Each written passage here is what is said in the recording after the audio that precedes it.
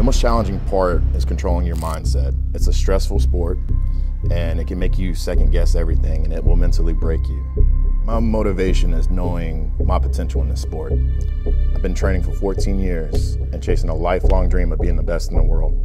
I bodybuild because I absolutely love this shit.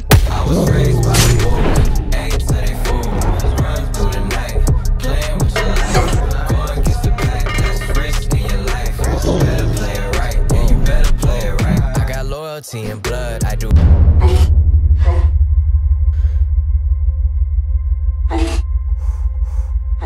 My life depend on this. This ain't no simple shit. Try you get bit. That's what you motherfucking get. I feel safer taking risks and I can't eat this. Always gonna be somebody out there that's bigger and better. But in order to beat me, you're gonna have to outwork me.